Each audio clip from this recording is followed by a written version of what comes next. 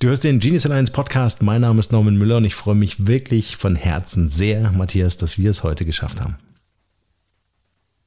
Ja, ich freue mich auch sehr und vielen Dank, dass es auch heute geklappt hat. Wir sind ja schon länger in Kontakt und jetzt tauschen wir uns mal aus über, über, über mich, über uns, über die Geschichte auch, wie wir zusammengekommen sind und äh, ja, was draus wird.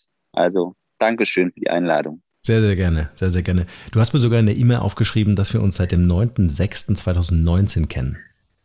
Ja. Ja, heute ist hab, September 2021. genau, ich habe äh, die Aufnahme zu machen. Äh, sie hat ein bisschen gedauert, richtig.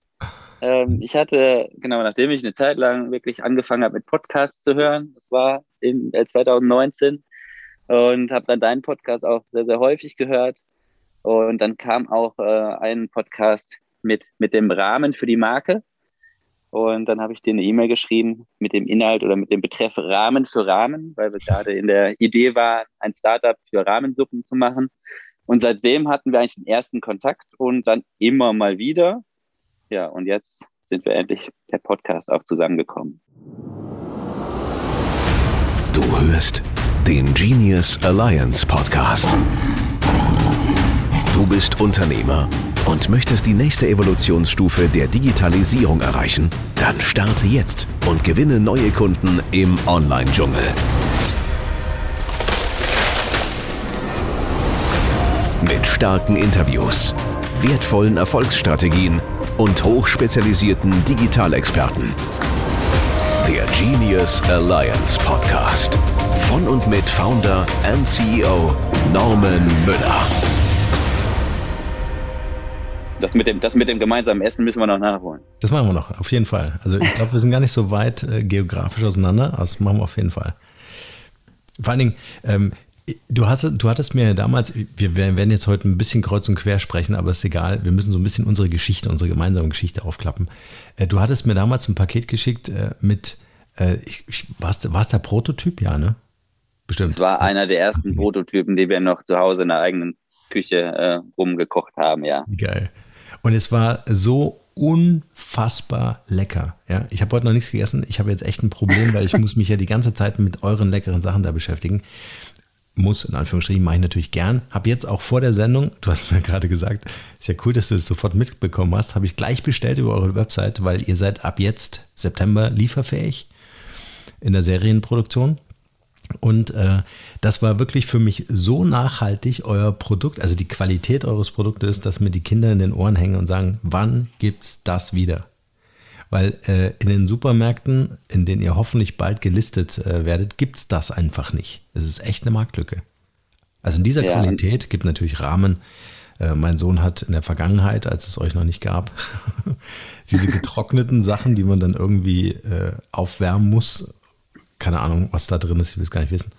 Ähm, aber jetzt gibt es das frisch von euch. Sehr cool. Ja, du hast tatsächlich, ich habe gerade nochmal nachgeguckt, eines der ersten Muster bekommen von uns, äh, nachdem wir da im ersten Austausch waren mhm. zum Probieren. Und die Rückmeldung von dir, wie du auch gerade bestätigt hast, war, war einfach super. Und die Rückmeldung, die wir auch von anderen bekommen haben, hat uns einfach bestärkt in der, in der Produktentwicklung von frischer Rahmensuppen, ähm, die so, ja, so noch nicht erhältlich sind. Mhm ähm, sondern eher an der Restaurantqualität, die es so gibt, äh, dass wir uns daran orientieren.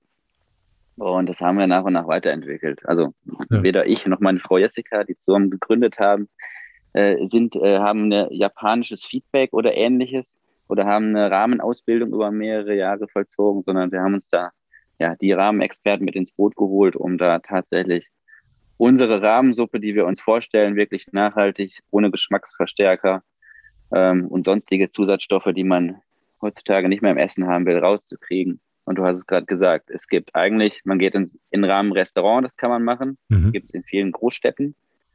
Ähm, oder man geht in den Supermarkt und kauft eine Instant-Nudelsuppe, also Cup- oder Package-Nudeln, die aber voller Geschmacksverstärker, nicht irgendwelche pulver pulverisierten Brühe ja. sind und mit fettigen, vorfrittierten Nudeln. Also wir wollen uns damit auch gar nicht vergleichen, aber da steht nun ja. mal auch Rahmen oder japanische Nudelsuppe drauf. Mhm.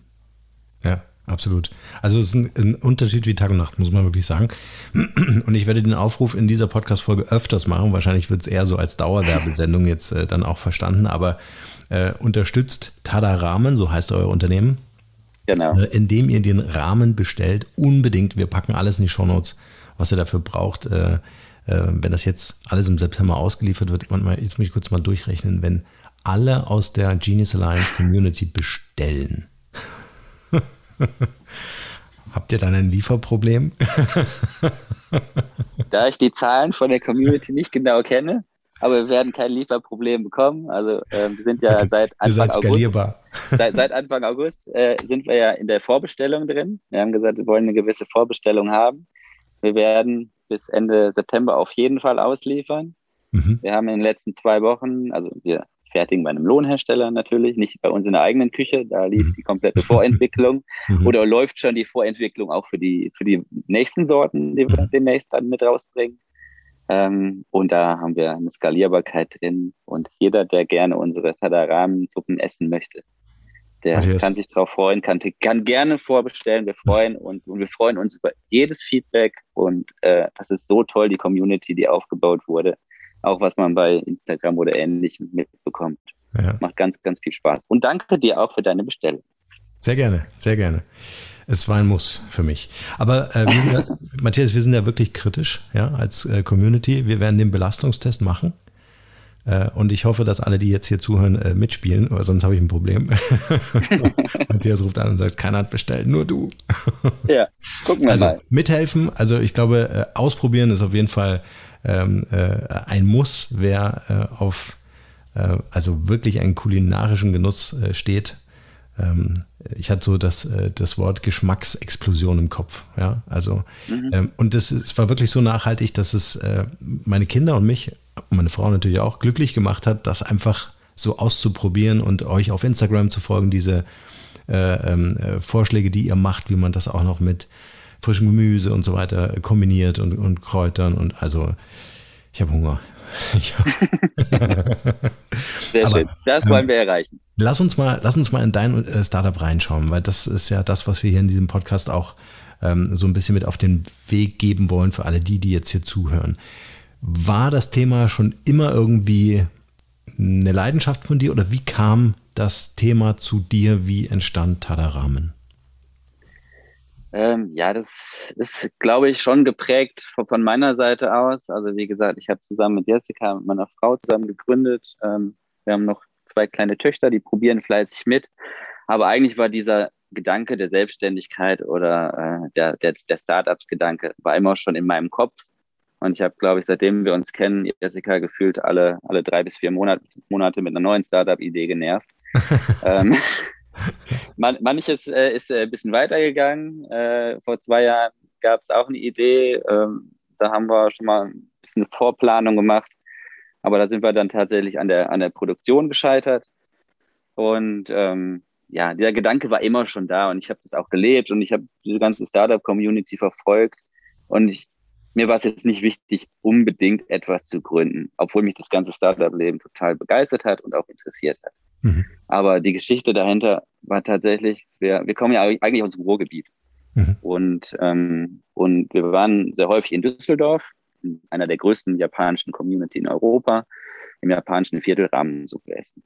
Jessica hat mich auch dazu gebracht, da mal hinzugehen und wir haben uns einfach in, in diese Rahmensuppe, speziell in diese Tantan-Rahmen, unsere, unsere Lieblingsrahmen, dann, dann verliebt und wir waren da echt sehr häufig essen und äh, da wir jetzt mittlerweile in der Nähe von Mannheim wohnen, zwischen Mannheim und Frankfurt, mhm. ähm, sind wir halt nicht mehr so häufig in Düsseldorf oder nach Düsseldorf gefahren. Immer mal, wenn wir in die Heimat fahren, gehen wir auch da noch gerne essen. Ähm, und dann haben wir uns hier umgeguckt, welche Möglichkeiten gibt es denn eigentlich? Was, was kriegt man? Okay, dann haben wir verschiedene Restaurants und Bars mal ausprobiert. Aber diese japanische Authentizität, die es dort gibt, gibt es, wenn, auch wenn hier Rahmen drauf steht, ist es das nicht. Dann ist es meistens irgendeine Gemüsebrühe mit ein paar Nudeln drin und ein bisschen Gemüse obendrauf. Ähm, aber nicht dieser wirklich unvergessliche Geschmack, beziehungsweise dieser, dieser starke Geschmack, den, den diese japanische Nudelsuppe eigentlich, eigentlich überträgt. Mhm. Und ja, dann haben wir gesagt, was machen wir? Okay, welche Möglichkeit gibt es noch? Restaurants, klar, wir können nach Frankfurt fahren, da gibt es schon einige. Und das ist schon okay. Aber eine Stunde jedes Mal hinzufahren, ist auch nicht Sinn der Sache. Ähm, wir kochen oder ich koche sehr gerne, auch zusammen mit Jessica. Und dann haben wir gesagt, okay, was ist, wenn wir selber kochen? Natürlich, dann haben wir uns damit beschäftigt, was passiert oder wie kocht man Rahmensuppen. Ähm, dann haben wir natürlich Rezepte gelesen und ausprobiert. Und das, was wir vorher gegessen haben, haben wir nie erreicht. Wir haben mehrere Versuche gemacht. Natürlich hat es nicht schlecht geschmeckt. Es war okay. Mhm. Und äh, die Zutaten natürlich auch, also je nachdem, welche Rahmensuppe man isst, äh, ein bisschen außergewöhnlich. Und äh, das ist, glaube ich, so auch so das, was uns im Kopf bleibt. Als Jessica dann äh, gesehen hat, dass ich mal eine spezielle Rahmensuppe kochen wollte und sie das ganze Tiefkühlfach voller Schweinefüße gefunden hat, hat sie gesagt, oh. wir kochen jetzt nicht mehr weiter. Was hast du da ausprobiert, bitte? Ja. Ich habe halt viele verschiedene Rezepte ausprobiert. Aber dieses Rezept ist im Moment nicht in unserem Produktportfolio drin. Das ist nochmal ein ganz wichtiger Hinweis. Aber das gehört einfach zu der Story dazu, ja, weil absolut. wir haben uns echt, echt rein, echt rein entwickelt.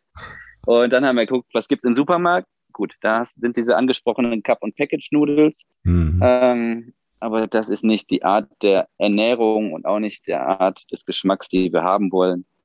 Und äh, dann sagte tatsächlich Jessica zum ersten Mal, komm, dann lass uns das doch mal selber erfinden, selber gründen. Wir machen dann ein Startup raus.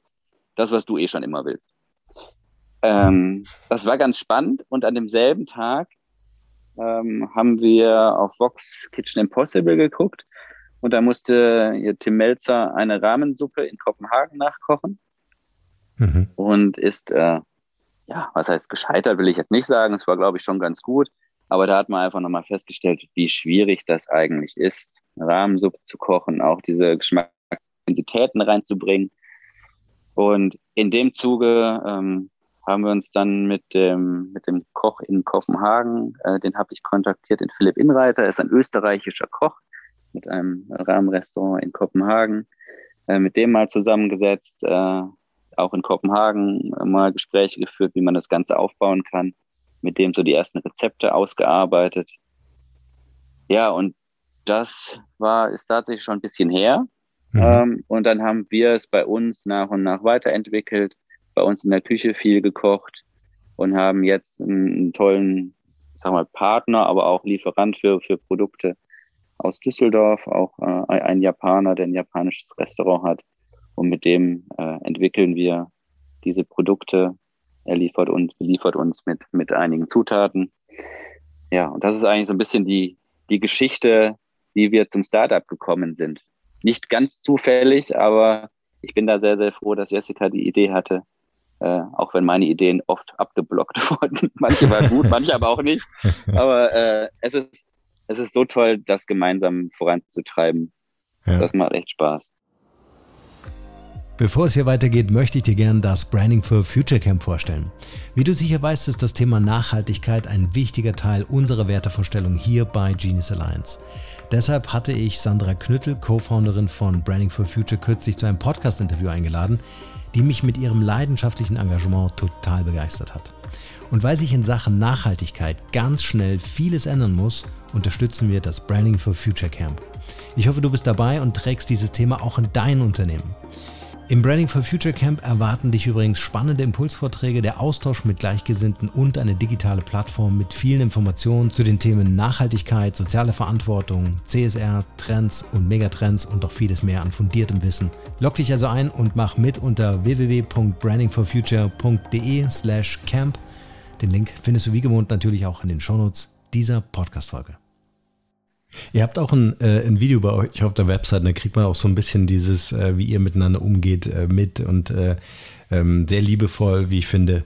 Ähm, und ich, ich finde, es ist ein großes Geschenk, wenn du ähm, so als Paar ja, sowas gemeinsam aufbauen kannst. Ja, finde ich großes Geschenk. Ja. Also so schöpferisch zu sein. Ne? Ja, mhm. also schön, dass es im Video so rüberkommt. Das, das ist gut. Es soll auch absolut authentisch sein.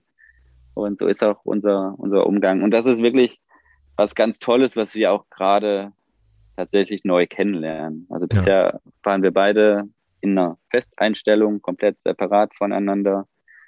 Ähm, und so arbeitet man einfach zusammen, lernt sich auch auf eine gewisse Art neu kennen. Absolut. Also in, auf der Arbeitsebene. Ja. Ähm, natürlich muss man es trennen, aber glaube, du weißt es auch, ganz hundertprozentig trennen kann man es nicht. Nee, nee.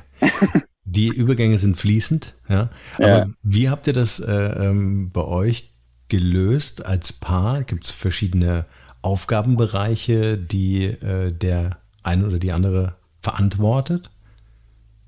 Ja, also wir haben die Aufgabenbereiche, wo wir ja aktuell ähm, eh noch angestellt sind, beziehungsweise ich noch angestellt bin. Jessica wird, wird weiter angestellt bleiben. Ähm, ich bin aktuell Vertriebs- und Marketingleiter in einem Industrieunternehmen, eher im B2B-Bereich. Ähm, also bei mir liegen hauptsächlich die Arbeiten rein im Vertrieb. Nee, ich, sorry, ähm, sorry. Ich meine okay. jetzt bei eurem Startup. Äh, also habt ihr euch, weil ich frage deshalb, ähm, bin deshalb neugierig, weil äh, vielleicht sogar viele Paare zuhören und sagen, ey, wie wäre das, wenn wir das zusammen machen? Ich weiß ja. aber auch aus eigener Erfahrung, wenn du gewisse Zuständigkeiten im Unternehmen, im Startup nicht ganz klar äh, voneinander vielleicht auch abgrenzt, dass jeder so seinen Raum hat, in dem man auch Entscheidungen treffen kann, ja, äh, dann kommt es natürlich dann gerne mal zu, weiß ich nicht, äh, Reibereien, die ja gut sind, ne, weil dadurch entsteht Qualität, aber mhm. ähm, gewisse Bereiche muss man sich einfach auch aufteilen. Oder wie ist deine ja. Erfahrung da? Nee, ist absolut richtig. Da wollte ich auch gerade hin. Also mein okay. Bereich ist, mein Bereich ist Vertrieb. Ja. Äh, okay, ja. sagen wir Marketing auch hauptsächlich, äh, wobei sich da auch natürlich die Themen überschneiden, weil Jessica ist äh, Diplom-Designerin ähm, ist für, ich sag mal, ich sage immer so gerne alles, was bei uns schön ist, zuständig. ähm, sowohl das Produktdesign, äh, sowohl das Etikett, ähm, sowohl auch, auch die Fotoorganisation, ähm, als auch das Label. Also sie ist dafür wirklich zuständig, auch das ganze Social Media ähm, betreut sie. Und im Marketing sind natürlich die Marketingmaßnahmen, die wir machen, mit den, sag mal, schönen Sachen bei Tada Rahmen ähm, da ergänzen wir uns ganz gut, aber sie ist wirklich für, ja, für, für, für, diese, die, diese, für die Designsachen mhm. ähm, und ich mache Vertrieb und ansonsten haben wir, haben wir noch sehr viel Überschneidung, weil aktuell sind wir tatsächlich zu zweit ähm, und gucken, planen aber gerade und gucken, wie wir da äh, noch Unterstützung mit ins Boot holen können. Mhm. Das ist übrigens ein ganz äh, wichtiges Golden Nugget an dieser Stelle für alle, die jetzt zuhören, äh, zu überlegen, wer, also wenn man als Paar gründet, ist, betrifft aber auch, also könnten auch zwei Gründer sein, die jetzt kein Paar sind oder so, äh, oder auch drei Gründer, aber die Assets äh, einfach mal auf den Tisch legen und sagen, okay, ähm, was habe ich in der Vergangenheit gemacht, wo fühle ich mich äh, zu Hause, ne? also was kann ich wirklich gut, was sind meine Talente und Erfahrungen und äh, dann schaut man, wie man sich da ergänzt weil ich oftmals auch mit äh, Startups zu tun habe. Ähm, ich kenne das so aus meiner Agenturzeit äh, von früher, wo sich dann zwei Grafikdesigner selbstständig gemacht haben. Und dann war die Frage im Raum, wer entwickelt die Projekte? Wer macht Vertrieb? Wer macht Marketing? Beide wollten mhm. Grafikdesigner bleiben. also ja, das ist dann meine, vielleicht auch eine sinnvolle Ergänzung in der Zukunft, dann wirklich auch jemanden vielleicht mit ins Team zu holen, der dann die Ergänzung in der Wertschöpfungskette innerbetrieblich äh, vollziehen kann. Mhm. Ja, genau. Also da gucken wir wirklich, wo wir jetzt nicht spezialisiert sind, dass wir uns da ergänzen, beziehungsweise demnächst Unterstützung mit ins Boot holen.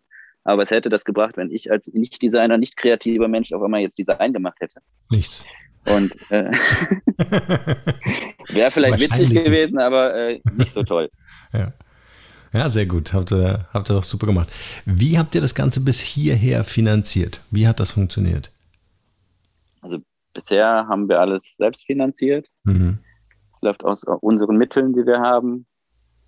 Und äh, natürlich gibt es von Anfang an dann auch schon mal Interessenten beziehungsweise interessierte Investoren, ähm, wo man schon mal erste Gespräche führt. Mhm. Aber wir haben gesagt, ähm, auf jeden Fall, soweit es uns möglich ist, bis zum Markteintritt wollen wir das Ganze komplett äh, eigen, selbst finanzieren und selbst steuern. Ähm, aber wir sehen es auch, wenn wir jetzt im September ausliefern, haben wir schon in Planung, beziehungsweise laufen dann ein paar Gespräche, mhm. ob wir da äh, nicht nur finanzielle Unterstützung, aber wie auch vorhin gesagt, da nochmal Unterstützung in eigenen Themenbereichen mit reinholen. Mhm. Also allein das Thema kann man Markenbildung, klar, ich kenne es aus dem B2B-Bereich, aber im B2C ist es schon was anderes. Ja. Insbesondere auch die Themen Social Media Marketing. Ähm, wir sind da beide keine Experten drin, auch wenn wir da äh, jetzt, sag mal, einen Anfang gestartet haben. Aber wir lernen aber von, von so vielen Leuten auch so viel, die uns auch kleine Tipps geben. Aber man will ja hinterher oder man kann auch gar nicht mehr hinterher alles selber machen, wenn es einmal läuft, sondern ja, da muss man ja. sich, muss man sich sehr wohl bewusst sein, was kann man, aber auch was will man und was, äh, wo gibt es einfach bessere oder Leute, die das besser können und es gibt sehr, sehr häufig Leute, die, die viele Erfahrung haben, die es besser können, ähm, die einem auch, auch unterstützen können. Und da, das wollen wir uns auf jeden Fall mit ins Boot holen. Weil auch, sonst, äh, auch wichtig, was du sagst. Startup aufzubauen funktioniert ja. nicht. Ja, auch wichtig, was du sagst, weil ähm, also zu erkennen, dass man dann irgendwann auch so an seiner eigenen Leistungsgrenze ist, ja, äh, und einfach sagt, wir können einfach nur wachsen, indem wir uns einfach Leute dazu holen, ähm, äh, die da sinnvolle Ergänzungen einbringen können. Das ist, glaube ich, auch nochmal ein ganz wichtiger. Also nicht zu lange alleine hasseln. Das ist eigentlich so, ähm, so die, die Erkenntnis, die ich auch in meinen Unternehmen hatte. Ähm, mhm. Ihr habt gepitcht, Nico Rosberg, Stichwort habe ich gelesen. Äh, habt ihr direkt vor ihm gepitcht oder war der äh, auf dem Event? Ich habe es nicht so ganz verstanden. Ja, es war äh, auch ein Event in 2009, nee, gar nicht, war Anfang 2020, mhm. meine ich. Ähm, und der war überraschenderweise dabei. Es war eigentlich gar nicht geplant. Äh, es war eigentlich so ein Startup-Pitch vor Einkäufern beziehungsweise mhm. Entscheidern in, aus dem Lebensmitteleinzelhandel. Ähm, das war auch tatsächlich, sagen wir, ungefähr zu dem Zeitpunkt, wo wir das erste Produkt an dich rausgeschickt haben, also sehr, mhm. sehr, sehr früh. Mhm. Ähm, dann habe ich noch in, in Frankfurt äh, da schnell die Suppen warm gemacht und der Pitch war dann, war dann vor äh, den Einkäufern der, der einzelnen Supermärkte. Und äh, ja, Nico Rosberg war dann da überraschenderweise mit dabei, weil er sich das einfach mal angucken wollte, wie finden so Pitches statt. Mhm. Ähm, vielleicht auch tatsächlich als Vorbereitung äh, zu Höhle der Löwen, aber das äh, war damals noch nicht bekannt, ja. dass er damit einsteigt. Wie findet denn so ein Pitch statt? Also äh, ist es dann wirklich so, äh, du hast wie so eine Art, wie so eine Art Messestand vielleicht, also ein Tisch, wo du das alles aufbaust und die kommen dann vorbei und bewerten das dann für sich oder wie funktioniert das? Ähm, also damals war es so, dass man also man hat seine eigenen Utensilien mitgebracht, man konnte es dann, dann warm machen, dann kochen, aber der Pitch an für sich war in einem eigenständigen Raum. Äh, man ist dann mehr oder weniger mit so einem Trolley reingefahren, äh, hat dann sein, sein Essen mal verteilt und beim Pitch haben dann, durften dann alle mal probieren. Ähm, aber das war ein eigener Raum, wo, wo, die, wo die einzelnen Leute drin waren. Mhm. Und dann steht man vorne, darf so einen Pitch halten. Ich glaube, es war damals ganze zwei Minuten lang. Also muss ich da sehr, sehr, sehr, sehr fokussieren oh, auf das, was ja. man äh, pitchen will. Ähm, ich glaube, dann nochmal 30 Sekunden Rückfragen.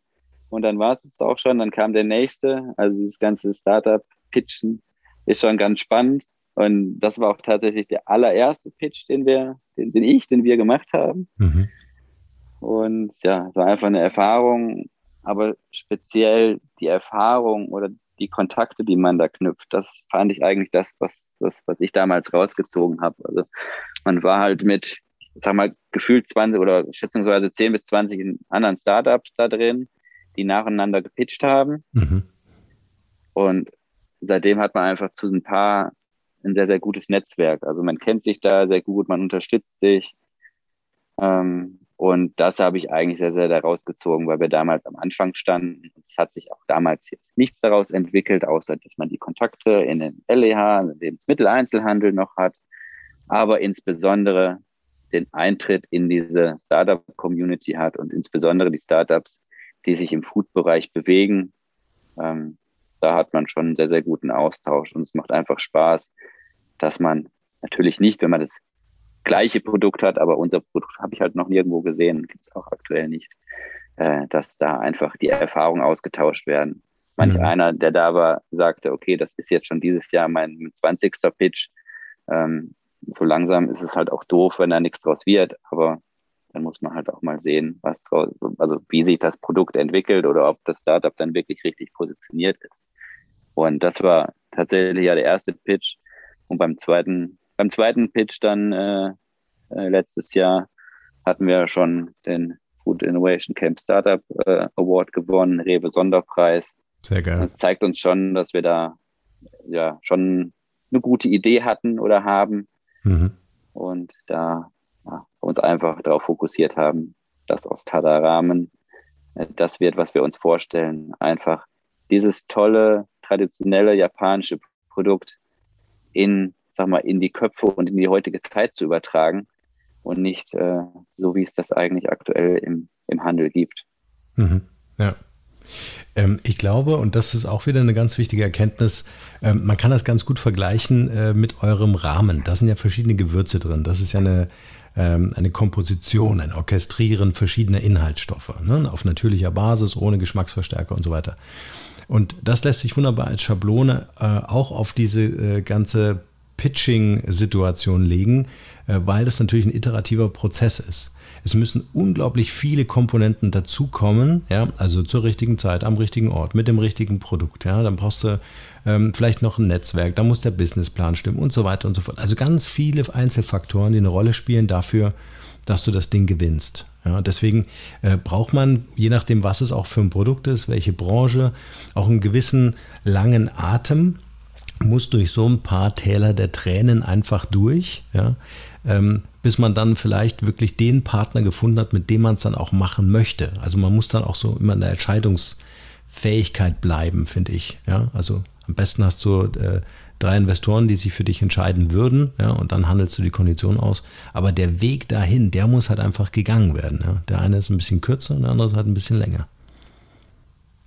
Ja, ja das stimmt. Das ist ein guter Vergleich. Ja. Sehr cool. Wie geht es jetzt weiter mit eurer Serienproduktion? Also wie habt ihr das jetzt gelöst? Wenn ich das richtig mitbekommen habe, äh, macht ihr das alles aus Deutschland heraus, ne?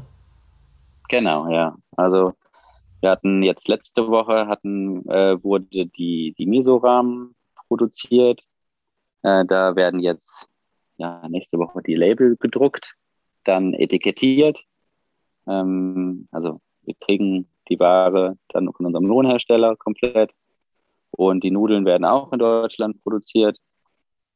Und die werden dann im Viererpaket verpackt. Und dann sieht es so aus, dass wir ja, die Vorbestellungen dann noch im September ausliefern.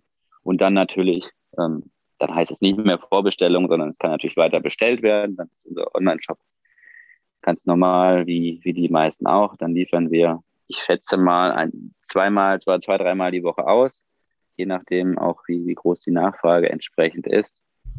Na, spätestens und, nach diesem Podcast haben, ist die immens. Dann liefern wir fünfmal die Woche aus.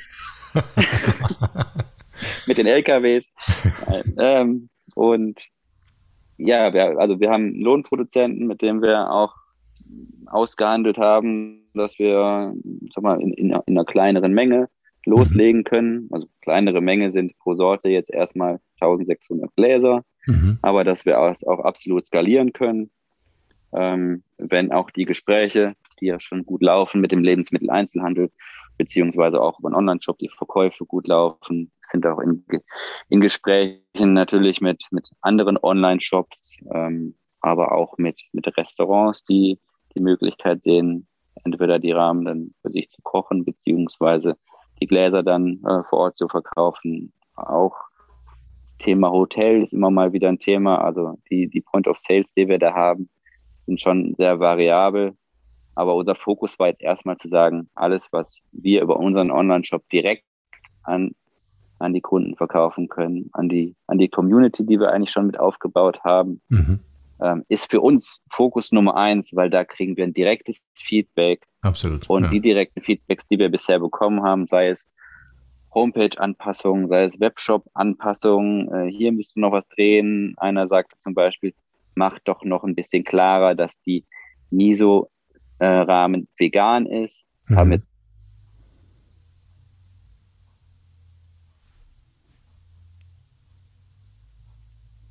Matthias? Das begeistert uns, dass diese Community. Matthias, jetzt warst du kurz weg. Hallo? Ich wieder da, oder? Jetzt bist du wieder da. Also, dass die Miso-Ramen ah, okay. äh, vegan ist, da, da sind wir stehen geblieben. Genau, das, das war nochmal so ein Hinweis. Wir hatten drunter stehen, dass die Miso-Rahmen vegan ist, aber nicht so plakativ mit einem mit einem Logo nochmal oder nochmal aufgezeigt. Mhm. Und das ist einfach das, was wir als Besonderes empfinden, dass man kommuniziert, dass man aber auch Anpassungen selber vornehmen kann. Und äh, ja, die nächsten Schritte sind Auslieferung, weitere Produktionen sind schon geplant, aber auch ähm, ja, Weiterentwicklung des Produktportfolios. Ähm, ich denke mal, jeder, jeder Vorbesteller bei uns wird eine kleine, kleine Überraschung noch dabei bekommen als Dank für die Vorbestellung. Und äh, ja, wir werden es weiter vorantreiben. genau, solange die Vorbestellungen noch da sind, alles gut. Genau. Matthias, ähm, habt ihr was gemerkt? Ich meine, wenn, wenn man so die Höhle der Löwen so anschaut und so weiter, äh, auf einmal investierten Frank Thelen in, in Food-Startups, der eigentlich so für Technologie bekannt ist. Habt ihr da einen Hype oder eine höhere Nachfrage oder eine gewisse Offenheit erlebt? Hat sich da was verändert bei euch? Also man kriegt schon mit, dass Investoren oder Investorengruppe ähm, sich für den Bereich Food sehr geöffnet haben, mhm. beziehungsweise dass da immer neue Accelerator auch, auch rauskommen, immer neu gegründet werden. Auch dass man von, von größeren, größeren Investorengruppen dann auch mal angefragt wird, weil das, weil der Bereich Food oder beziehungsweise dann dieses Wort Nachhaltigkeit, nachhaltiges Essen natürlich ein sehr, sehr großer Trend ist. Also ist ja nicht so, dass wir die Rahmensuppe jetzt erfunden haben, hm. sondern wir haben ein tolles traditionelles Gericht genommen und äh, das für uns erhältlich zu machen. Und das ist das, was, was wir gemacht haben. Und wir sehen einfach, dass der Bereich Startup für Investoren natürlich im Moment durch auch die Finanzwelt, wo es im Moment keine Zinsen oder ähnliches mehr gibt, ähm, dass sich das geöffnet hat. Und ähm, aber auch, dass der Bereich Food sich immer weiter öffnet ähm, und nicht mehr klar Richtung Technologie geht, sondern auch Messen, aber auch ähm, Investoren sich, sich breiter aufstellen und verschiedene Möglichkeiten dann zur Investition haben. Hm. Auch vielleicht eine, eine, neue Lebenseinstellung der Menschen da eine Rolle spielt. Ne? Also jeder, also ich pauschalisiere das jetzt, jeder möchte gesund leben ja, und auch sich gut und qualitativ hochwertig ernähren. Und das habt ihr im Grunde geschafft, dass ihr gesagt habt, ein traditionelles japanisches äh, Gericht wirklich in dieser hohen Qualität nach Hause zu bringen, ähm, äh, ohne dafür irgendeine Lieferando oder Co-Plattform nutzen zu müssen. Aber das ist ja, das ist ja im Grunde das, äh, das Wertvolle ne? und die ganzen Varianten, die dann äh, sicher noch folgen werden. Wie schwierig ist es, äh, überhaupt in den Einzelhandel zu kommen, so jetzt aus euren Netzwerken, aus euren Möglichkeiten heraus? Wir machen eine kleine Pause, denn ich möchte dir unbedingt diesen Tipp ans Herz legen. Wenn du heutzutage vorhast, ein Unternehmen zu gründen, stehst du sofort vor zahlreichen Herausforderungen. Du brauchst ein funktionierendes Geschäftsmodell, unter uns gesagt am besten mehr als eins, eine Marke, Sichtbarkeit, ein Team, Digitalexperten, Mentoren und natürlich Investoren, um in kurzer Zeit ein skalierbares Business aufzubauen. Wir zeigen dir als Startup-Entrepreneur in einem kostenfreien Strategie-Call, wie du mit der Genius Alliance Schritt für Schritt erfolgreich ein profitables Unternehmen aufbauen kannst. Das Einzige, was du jetzt dafür tun musst, ist den Link für deinen kostenfreien Strategie-Call in den Shownotes dieser Podcast-Folge zu finden oder du gehst einfach auf unsere Website www.genius-alliance.com und sicherst dir einen der freien Termine.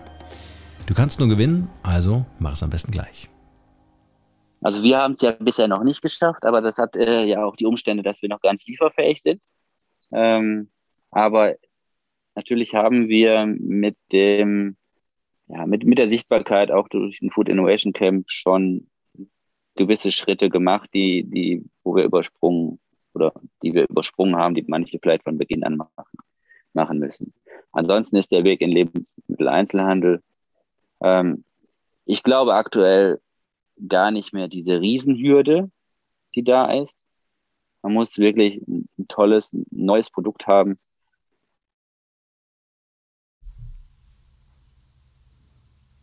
Und das ist natürlich erster Status. Startup ist nicht, bringt man nicht einfach so in, in den Laden rein. Auch jeder Regalmeter, jede Regalfläche kostet Geld. Und da muss natürlich auch ein gewisses Verkaufspotenzial dahinter sein. Ja, absolut. ansonsten äh, muss man sagen, da gibt es Gespräche, es gibt auch viele, viele Bereiche, sei es von sagen wir, den größeren Lebensmitteleinzelhandelsketten. Ähm, da gibt es einfach Kontakte, die man pflegen kann. Ich würde sagen, wenn man den Fokus auf Lebensmitteleinzelhandel legt, ähm, hat man da schon gute Chancen reinzukommen. Aber bei einigen muss man auch ein gewisses Vorinvestment tätigen, um diese Regale bedienen zu können. Ähm, aber es kann auch sein, dass man einfach mit dem Produkt überzeugt und dann hat man auch die Möglichkeit. Also mhm. der Weg ist nicht einfach, es ist aber, aber möglich, äh, vorausgesetzt natürlich, das Produkt passt. Und das ist für uns entscheidend. Und ich sag mal, wenn wir dann demnächst mal im Lebensmitteleinzelhandel sind, kann ich gerne ein bisschen mehr darüber berichten. Mhm. Ähm, wenn du heute die Möglichkeit hättest, äh, dein Ich, also dich selbst, äh, zu beraten, so, so in der Zeit, wo du über diese Idee, dich selbstständig zu machen, äh, auch mit Tadaramen, also dass du schon weißt, was du machen möchtest. Wenn du dich selbst beraten könntest, was wären so die drei wichtigsten Punkte, die du dir damals heute, aus heutiger Sicht, äh, mitgeben würdest auf dem Weg? Ähm, erster Punkt ist ganz klar, also erstmal geh deinen eigenen Weg. Auch wenn du, man kriegt, ich habe vorhin schon gesagt, man kriegt viel Unterstützung von außen, viele Ratschläge von außen. Aber wir sind am Anfang komplett nur nach dem Bauchgefühl gefahren und nach den Erfahrungen, aber auch von dem Feedback, was wir so bekommen haben. Ähm, und das, das war wirklich gut. Es gab, gab eine Zeit, wo wir dann doch äh, viel auf Außen gehört haben, äh, wo wir gesagt haben, da müssen wir dann vielleicht nochmal hier oder da eine Schleife drehen, die wir dann aber in den letzten Wochen und Monaten wieder zurückgedreht haben. Also da ist wirklich erstmal der Tipp, ähm, früh in der Community auch zu arbeiten, also doch ein Feedback zu haben, aber von Kunden, aber nicht von Leuten, die vielleicht das Produkt gar nicht kennen, sondern es gibt so viele Rahmenliebhaber beziehungsweise Asia- und Japan-Liebhaber, mhm. die Rahmen lieben und kennen. Und da ist einfach das sind. Feedback total gut. Ja, ja genau. Ja. Aber äh, total gutes Feedback kann auch ein kritisches oder negatives Feedback sein. Ne? Also einfach, um das Produkt voranzutreiben. Mhm. Und das ist ja entscheidend aber nicht auf, sag mal, erfahrene, nicht unbedingt auf erfahrene Leute hören, die vielleicht das Produkt nie, gar nicht kennen oder auch, ja, äh, sich da vielleicht ein bisschen zu weit aus dem Fenster lehnen. Aber das muss jeder für sich abwägen. Also auch, das heißt nicht, dass man von erfahrenen Leuten, die nicht äh, in dem Bereich tätig sind, ja, nichts lernt, aber man muss es wirklich für sich, für seine Situation, für sein Geschäft abwägen, was wirklich sinnvoll ist. Und da hätten wir uns einige Schleifen sparen können. Aber trotzdem sage ich auch, auch wenn wir sie hätten sparen können, bin ich doch froh, dass wir sie gegangen sind, weil, ja, wie sagt man so schön, aus Fehlern lernt man, mhm. beziehungsweise man muss da gemeinschaftlich dann, dann eine Lösung finden. Und äh, ja, das sind, ist eigentlich so für, für uns eine Lernkurve, dass wir wissen, was wir wollen, wo wir hinwollen und gar nicht immer auf andere auf andere zu hören, was wir auch nicht immer gemacht haben. Mhm. Ähm, ja, als zweiter, zweiter Tipp, kurz überlegen. Ähm, ja, also ich habe, auch wenn ich sage, man hört, soll nicht auf so viele Leute hören, aber man braucht eine gewisse Community. Also Community nicht in dem Sinne, dass man nur die Rahmenliebhaber mit Leuten im Rahmenrestaurant sitzt, sondern auch Leute, die, die schon mal Startups gegründet haben, auch wenn sie im anderen anderen Bereich sind, ähm, die braucht man schon, aber man muss sich die speziellen raussuchen. Und da haben wir tolle Partner gefunden, sei es in der Community, die schon Startups gegründet haben, die äh, jetzt ihr zweites oder drittes oder viertes Startup gründen, dass man da einfach einen gewissen er Erfahrungsaustausch hat. Aber bei uns insbesondere auch in der Produktentwicklung, also dass wir, dass wir schon mit dem mit dem TAC äh, in, in, Düsseldorf, äh, der das Japan japanische Restaurant hat, da speziell auch in der Produktentwicklung uns da austauschen. Ähm, aber auch, was ich vorhin jetzt gesagt habe, ähm, mit den Kunden frühzeitig ins Gespräch zu gehen, ähm, frühzeitig eine Marke aufzubauen ähm, und da nicht erst das Produkt äh, tot zu entwickeln und dann äh, kurz bevor es tot ist, also anfangen zu verkaufen, sondern mhm. eine gewisse Sichtbarkeit schon mal schaffen, eine gewisse Begehrlichkeit dann auch zu schaffen. Und äh, ja, dann einfach das Produkt, wenn es soweit ist, auf den Markt zu bringen. Auch wenn es, wenn wir jetzt mit zwei Produkten starten, damit werden, dabei werden wir nicht bleiben, aber wir könnten jetzt noch ein halbes oder ein Jahr weiterentwickeln, dass wir vier oder fünf Sorten haben. Aber irgendwann müssen wir mal raus. Und es hat jetzt eine gewisse Zeit auch gedauert, weil wir einen gewissen Status auch erreichen wollten vom Produkt, vom Geschmack mhm. und auch von der, von der Haltbarkeit auch. Ähm, und äh, ja, das haben wir jetzt geschafft. Einen dritten Tipp, äh, esst viel Rahmen, dann wird es gut. ah, das wollte ich jetzt sagen. das ist ja mein Job hier. Aber äh, ich möchte nochmal zwei Dinge hervorheben. Einmal Community, das hatten wir auch in den letzten Podcast-Folgen immer wieder, dass der Wert deines Unternehmens natürlich für dich selbst als Gründer, Gründerin steigt, wenn du eine eigene Community befragen kannst. Deswegen frühzeitig damit anfangen. Und das andere, was mir gerade jetzt so auffällt, was ich nochmal so als Essenz rausarbeiten möchte, ist, ähm, jedes Unternehmen hat ja einen emotionalen Punkt. Ja? Ähm, bei euch ist es zum Beispiel der Geschmack. Und wenn ich mich auf den fokussiere, wenn es mir gelingt, bei meiner Käuferschaft, bei meiner Community diesen emotionalen Punkt weiter und weiter rauszuarbeiten, zu entwickeln, dann ist im Grunde das die Sogwirkung auf die Marke. Oder das die Sogwirkung auf das Produkt. Und äh, ihr macht das, indem ihr zum Beispiel sagt, keine Geschmacksverstärker. Wir haben eine vegane Variante, also auch breitere, äh, breiteres Publikum. Äh, wir legen ganz viel Wert auf die äh, Qualität, auf ähm, äh, ähm, äh, die, die, ähm, den Prozess, ne, dass ich das eine tolle Website, Bestellprozess war super easy für mich, ja, das ist ja mir auch wichtig, ja, dass ich das schnell nachbestellen kann und all das. Äh, aber der Fokus ist, ich, äh, ich habe meine Schüssel vor mir stehen, ja, und äh, äh da ist dann der Tada-Rahmen drin und dann schmeckt das einfach megamäßig. Ähm, die größte Enttäuschung, die ich jetzt speziell im Food-Bereich hätte, wäre, wenn das nicht schmeckt. Ja wenn äh, man sich vielleicht über Prozessketten mehr Gedanken macht, über Vertriebs- und Absatzwege mehr Gedanken macht, über ähm, da hilft auch keine hübsche Marke, ja, sondern das Produkt als solches. Also der Fokus auf die Emotion. Und dann äh, funktioniert das von ganz allein. Ja, äh, also kann ich nur unterstreichen. Wir wissen auch, dass wir noch so viel zu tun haben.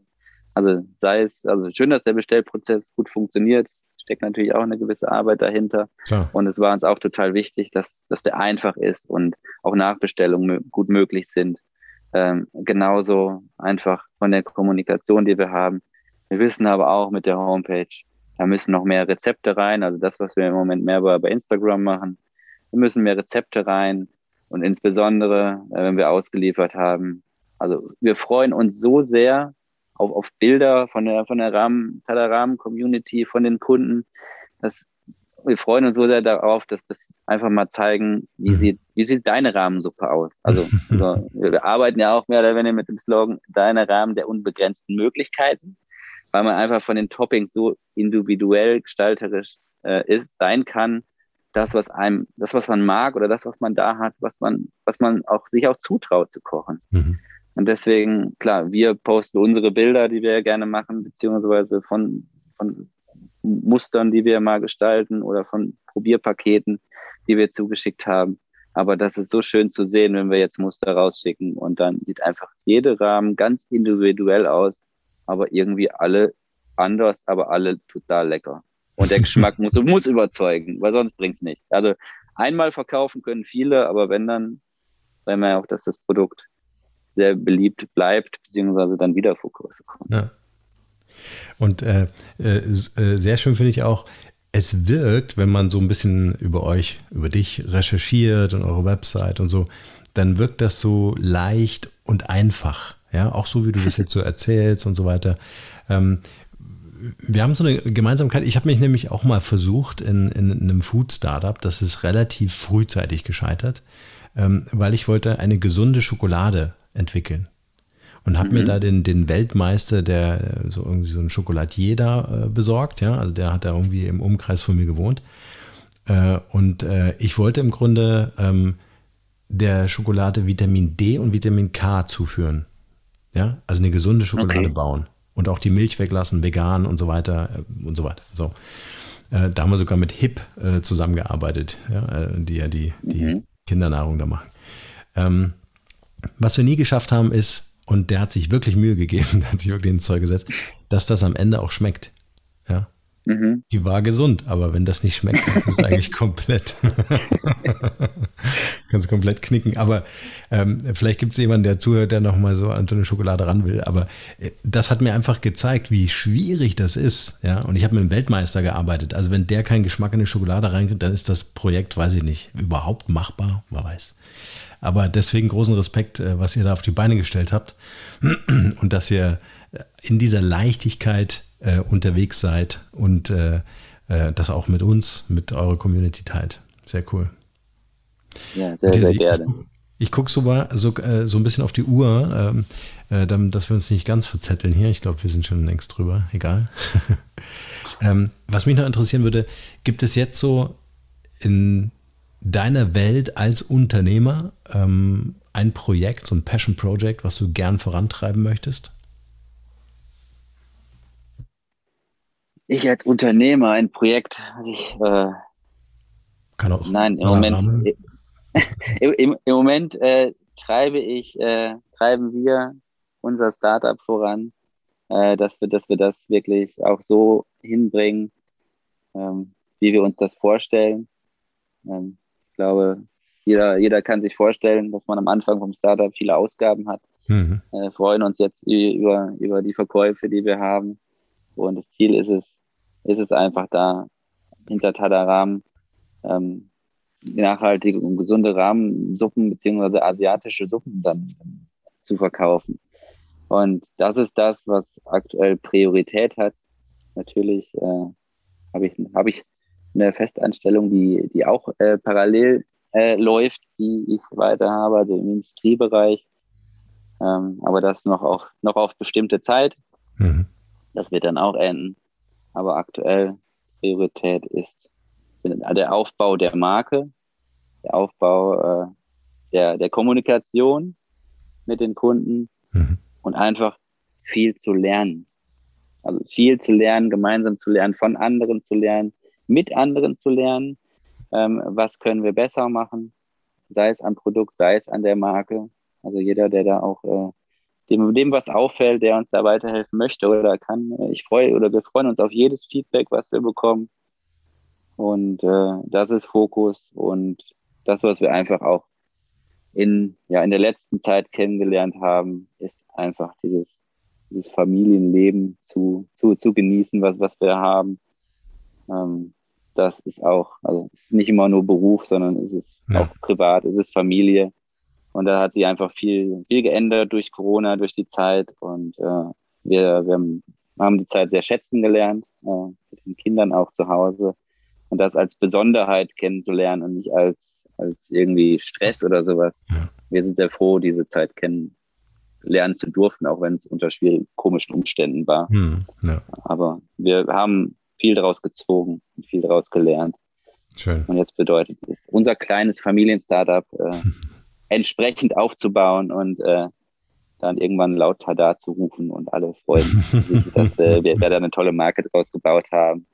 Und dann total spannende Story, tolle Geschichte ausgemacht zu haben. Und äh, wir erzählen da gerne drüber, auch wie wir das aufgebaut haben. Und äh, wir sind zwar noch nicht äh, so weit, wie gesagt, Auslieferung steht vor, kurz bevor, aber wir freuen uns auch immer über Rückfragen über andere Leute, die Startups aufbauen oder andere Themen haben. Ähm, wo wir helfen können, können wir, auch wenn wir da sicherlich noch ganz am Anfang stehen. Aber wir wissen, wie schwierig der Anfang ist. Mhm. Vielleicht können wir an dieser Stelle einfach euch helfen, weil ähm, das, was wir jetzt äh, äh von dir erfahren haben heute in dieser Podcast-Folge, ist ja eine Möglichkeit, wo wir jetzt als Zuhörer und Konsumenten mal zeigen können, was wir können. Oder ja. Indem wir, und jetzt nochmal mein Aufruf an alle, die jetzt hier zugehört haben, ähm, schaut euch das einfach an. Äh, äh tolle Produkte, ich kann es wirklich nur empfehlen. Ich habe, wie gesagt, vor der Sendung bestellt. Der Matthias wusste es nicht, aber der hat mich gleich darauf angesprochen. Ähm, schaut euch das an, äh, bestellt einfach mal zum Ausprobieren. Ihr werdet überrascht sein, wie toll die Qualität ist und wie toll der Geschmack ist. Also das kann ich wirklich an dieser Stelle nur noch mal ans Herz legen. Und damit helfen wir euch als Startup und das ist ja auch eine ganz wichtige Sache. Matthias, meine Abschlussfrage, die ich immer stelle, äh, und damit äh, würde ich dir das Schlusswort überlassen, ist, wenn du eine Sache auf dieser Welt verändern dürftest, was wäre das?